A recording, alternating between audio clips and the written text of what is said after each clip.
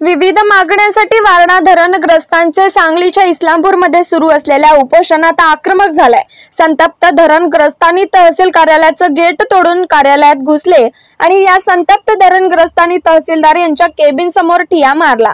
सांगली आणि कोल्हापूर जिल्ह्यातील वारणा प्रकल्पग्रस्तांना देण्यात आलेल्या कब्जापटीच्या नोटीसा रद्द करण्यात याव्या आणि विविध मागण्यांसाठी सोमवारी महाराष्ट्र राज्य धरण व प्रकल्पग्रस्त शेतकरी परिषदेच्या वतीने इस्लामपूर तहसील कार्यालयावर धडक मोर्चा काढण्यात आला होता.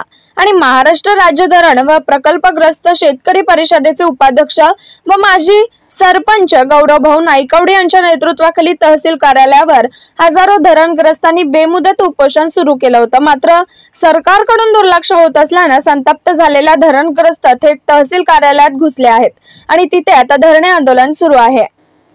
Bureau report SBN Marathi.